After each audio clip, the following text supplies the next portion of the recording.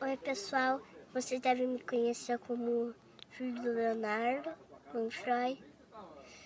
Eu quero dizer que isso é como um videogame. A nossa alma e você. A alma é o jogador e a gente é o boneco do jogo.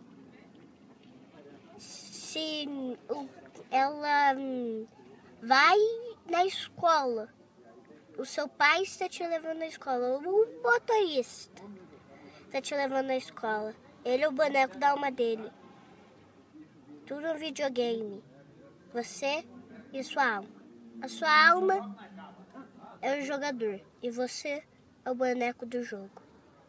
Só tem uma coisa que a sua alma não pode fazer: pausar o jogo. A vida, quando a gente sai do jogo, o, cor, o jogo morre e a alma não. A alma está controlando.